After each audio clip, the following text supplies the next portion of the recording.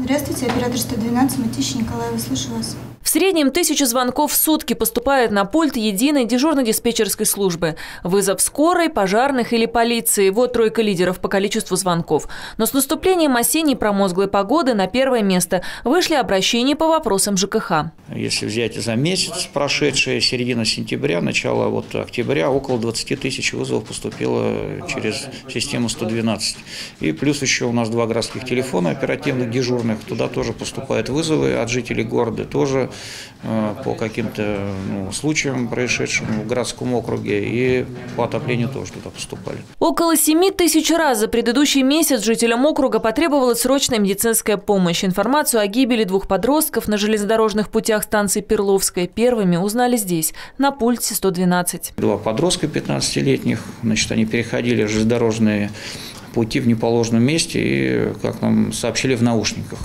Поэтому они не слышали приближающегося поезда, и, в общем, их сбило со смертельным исходом. О том, чтобы жители были внимательнее не только при переходе через железнодорожные пути, ЕТДС регулярно информирует в соцсетях и через мобильное приложение службы. В новостной ленте также отображаются плановые отключения электроэнергии и водоснабжения, информация от МЧС об ухудшении погодных условий, а кроме того, любители прогуляться по лесу и заядлые грибники там найдут напоминание правил безопасности.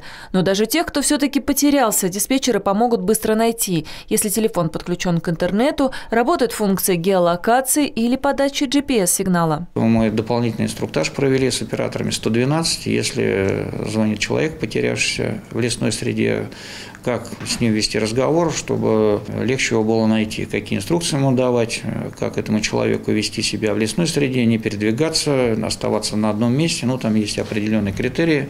Отключить телефон, выходить на связь там каждый час, чтобы батарейку сэкономить. Это операторов дополнительно мы инструктируем. С помощью диспетчерской службы в начале осени удалось оперативно эвакуировать снаряд, предположительно времен Великой Отечественной войны. Спящий боеприпас оказался не взрывоопасен, но, по мнению специалистов, в таких случаях лучше перестраховаться.